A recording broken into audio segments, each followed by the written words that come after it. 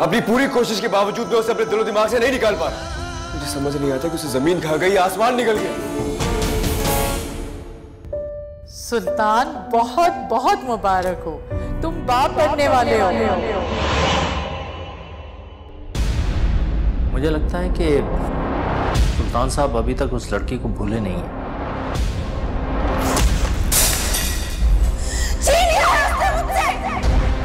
मेरी इतनी कोशिश के बावजूद भी वो आज भी उसे दिल से निकाल नहीं पाए। दीवानगी की हद तक उसके पीछे पागल मैं उससे जान से मारा